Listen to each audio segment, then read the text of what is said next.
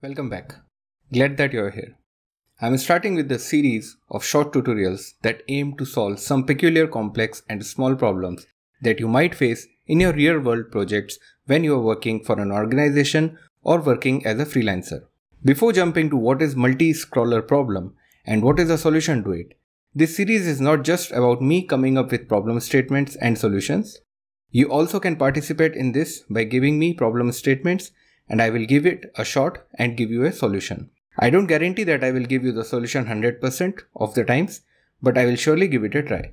With that, let's get started and do watch this short tutorial till end and make sure to like this tutorial and subscribe. Also, help in spreading the word by sharing across various forums and your friends. This video is sponsored by Appcircle. Build your apps, distribute it to testers and upload it to app stores, all automatically with quick and easy setup. You can find one month free coupon code and link in the description box.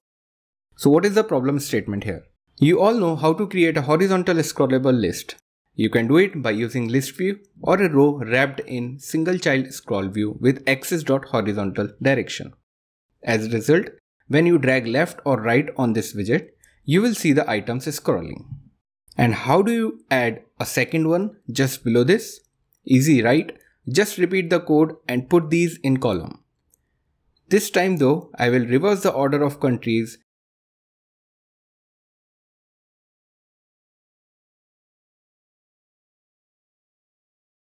and you will see something like this. So that's no brainer. You can now scroll these two scroll views individually. So what is the difficulty here? What we want to change in this? Well, here is the requirement. On scrolling any one of them, the other one should also scroll. To elaborate, if I drag the first list to left, the other one should also move to left and the same applies to when I drag one list to right. Something like this. Let's see what is the intermediate solution to this problem. Okay, now that we know what we have to achieve, how do we do it? Any thoughts? First thing that comes to my mind is scroll controller.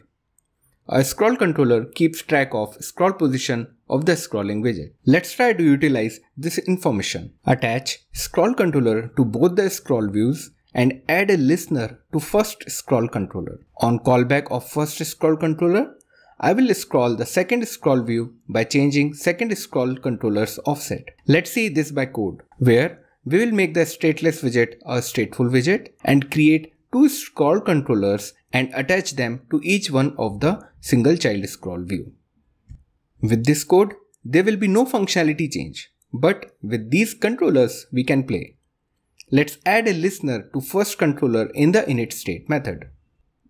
Here, we are animating the scroll controller 2 to the scroll controller 1's offset with some minimal delay and animation curve.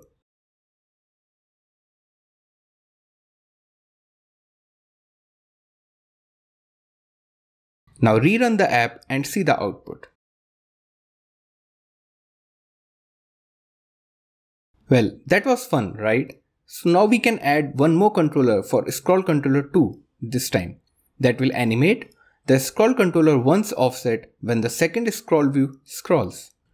But hey, we are getting in a loop, aren't we? And if that's not right, there is one more problem with this try. What if we have 2-3 more scroll views below these two? How many scroll controllers are we gonna use in that situation? Will it be performant? We all know the answer. No, this is not the right way at all. How would you react if I say you don't need stateful widget and scroll controller? I mean, to relate these two or three scroll views with each other, you don't need scroll controller at all. Yes, you have heard it right and now is the time to digest it. Back to the basic code, we have two single child scroll views in a column. The output of this is these two scroll views are scrolling individually. Remove the two single child scroll views and wrap column with single child scroll view.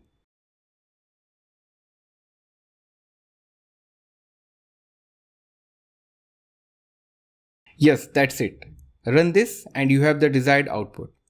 Our only one single child scroll view is responsible for making two rows scroll together. Don't feel cheated with this solution please. And believe me, I didn't know until this video that it is that simple. I started with a complex solution to explain to you, but midway this video, I realized that this is not the difficult as I made it before. This is what happens when you think too complex. With this, I close this tutorial. I hope you enjoyed this tutorial and in future many more like these are in the list. So make sure to like, share this video and subscribe the channel and notifications on. Thanks for watching. See you in the next tutorial.